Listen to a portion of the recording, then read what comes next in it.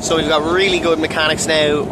At the start, we had some pretty bad hand issues, but hopefully now the camera's here. He's pushing the tiller away, holding it up near the top.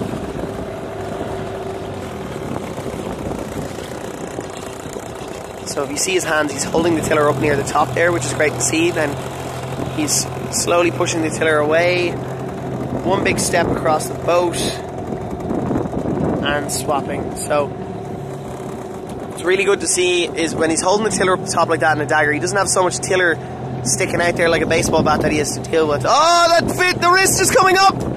There, ah! The bad habit snuck back in there. The wrist went up, you know, keep your palms down. So your palms should always be facing down, your knuckles should always be facing your cheeks. If your palms are sticking up, then you got something wrong. So